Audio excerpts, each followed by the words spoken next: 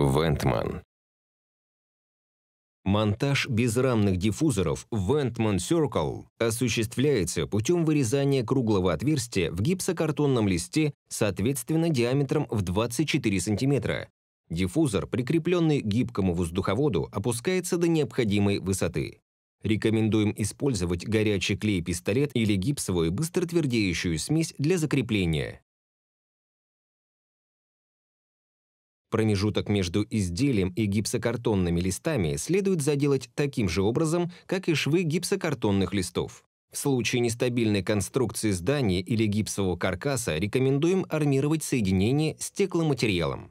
Сегмент круглого диффузора из гипсокомпозита можно смело шлифовать при помощи шлифовального инструмента. Дальнейшая последовательность процесса грунтовки и покраски диффузора Ventman Circle благодаря уникальным свойствам гипсокомпозита аналогична рабочим процессам по обработке, грунтовке и покраске поверхности потолка или стен.